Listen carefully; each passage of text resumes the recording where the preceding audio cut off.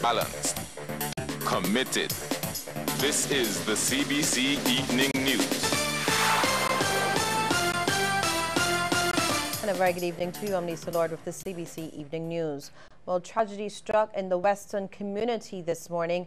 CBC understands a man identified as Leroy Thompson died after he was struck by a boat while spearfishing off Thunder Bay in Lower Carlton in St. James. The former Duglin Road resident and part-time fisherman is said to be in his 60s. Relatives and friends spoke glowingly of Mr. Thompson, who was a security guard at the Palmetto Street Market.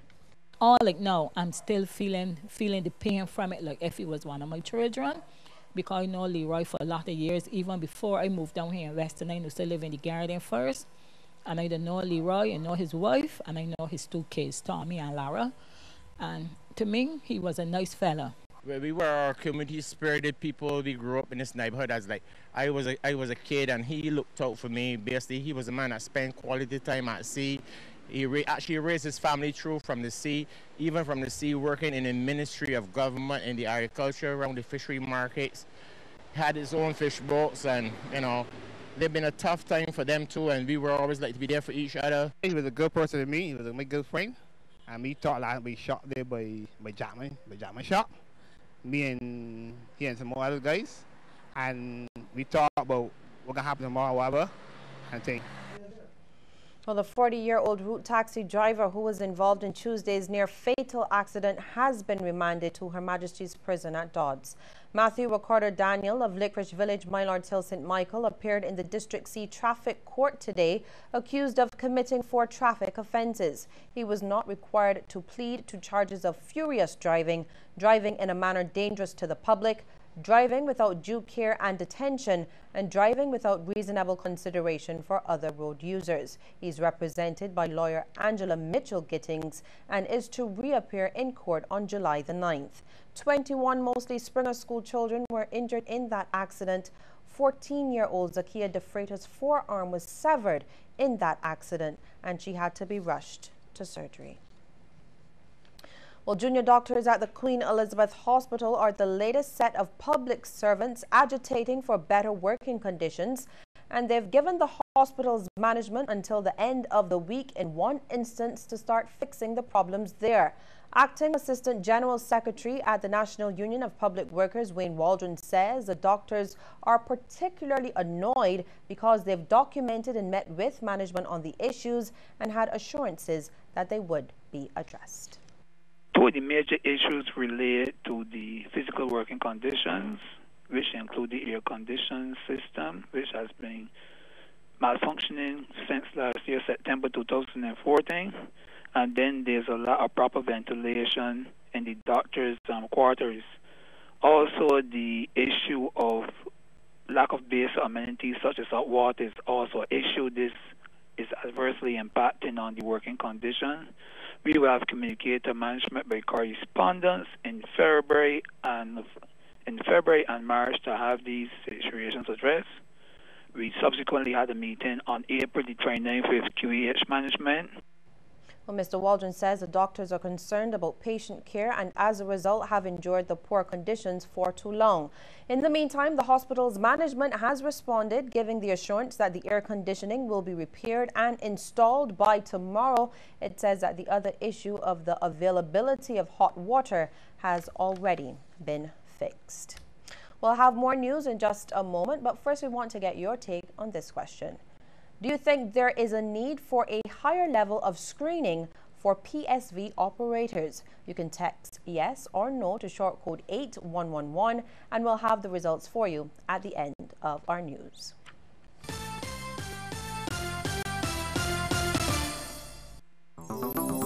Dear Clark, I've made a fascinating discovery, the institutional water cooler. Its gravitational pull sucks people from their workstations at the busiest times of day to stand around it and chat about emerging global trends like Will pink be in fashion next season? Meanwhile, the world slows to a stop as it waits in line to be served. I don't see that trend at Globe Finance. Globe Finance. Think outside the bank. When it comes to their financial service. Slow is out. Swift is in.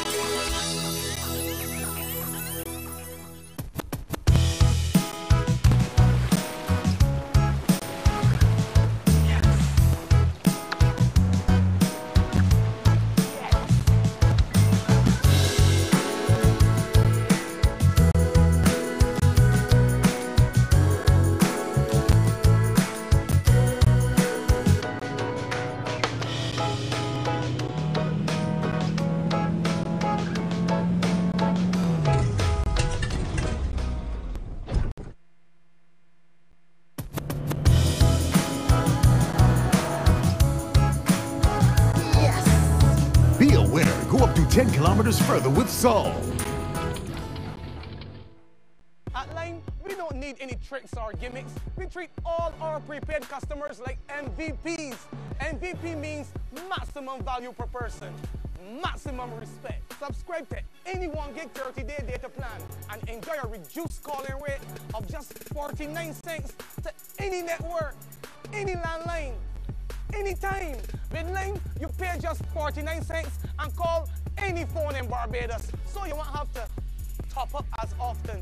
Put data on your phone and keep your money in your pocket with Lime MVP.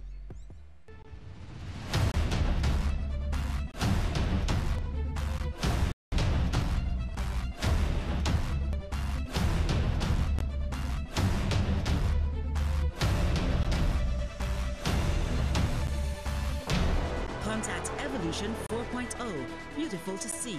Powered by Barbados Yellow Pages and proudly sponsored by 98.1 The One.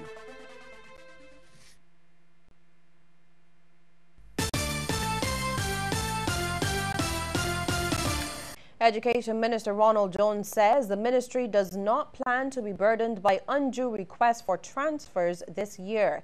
He made the comments following the release of the 11 plus results to schools across Barbados.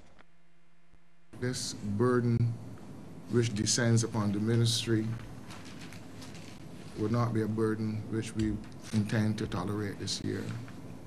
Um, choices are made by parents in their discussion and based on their performance, based on their requests, uh, it is satisfied generally. Sometimes you might not get your first choice, second, or third choice. You might get your fourth choice, and that is because of how the choices were made. Mr. Jones says in another two years, students will be receiving a mark for their essays instead. He believes this will force schools to further tighten up on oral discussions with students instilling confidence in their ability to write and express themselves. As we approach um, 2017, year or so from now, that you will be seeing a mark rather than just a simple grade for your essay composition writing so that you get a better understanding um, of what is not going to affect how students are transferred, but it gives you a better picture. And tonight we feature more of the top 10 performers in the 2015 Common Entrance Examination. Lisa Broom tells us more. It was congratulations all around for Adam Monroe over at the Trinity Primary School. The sports lover will attend Queen's College come September and though confident that he would have done very well, he didn't expect to be in the top 10. I was still like kind of bright, but my parents wanted me to take extra lessons just so I would be well prepared for the exam. His father, Marlon, said there was no real secret to Adam's success, but highlighted the importance of maintaining a balance. There's a, a very active balance, you know. Um, there was always an active study program, but apart from that, he was always involved in sports. You know, so we always ensured that there was a balance into his whole academic career. At Blackman and Gollop Primary, the atmosphere was festive as students congratulated each other.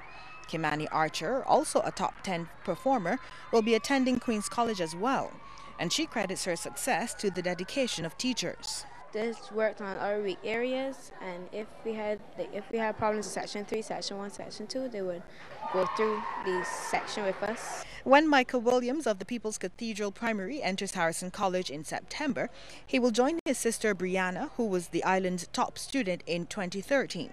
With her success in mind, Micah knew he would perform well, describing his family as one that focuses on excellence. I just sacrificed all video game time. Every weekend I just worked with my mother one-on-one and every evening when I came home I did a lot of work. And his parents, Paul and Kavita Williams, said the family's faith in God was the determining factor.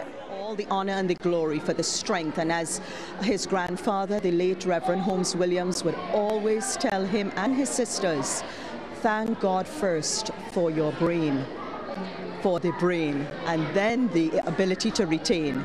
So yes, we do thank God for his strength, for the brain, and for every aspect of favor. Now, in all the excitement at St. Angela's School, there was one little girl who could easily have been missed. 10 year old Zan Valera was among the nine early sitters in this year's exam. She earned a place at the St. Michael's School. Now, Zan is clearly very shy, but her mother, Renata, was elated. As a result of her consistent grades over the last couple of years, she was allowed to do it. Um, she has passed for her first choice, which was St. Michael's School. And um, honestly, it's, it's, a, it's, a, bunch of emotions that, as, as a parent, I did not expect to feel, um, but it's, it is relief. Renata is a bit concerned because of Zan's age, but she's confident she will fit in just fine. Lisa Broom, CBC News. Thank you, Lisa. Well, still to come, a look at some of the stories making headlines across our region. But first, a reminder that we want to hear from you on this question. Do you think there is a need for a higher level of screening for PSV operators? You can text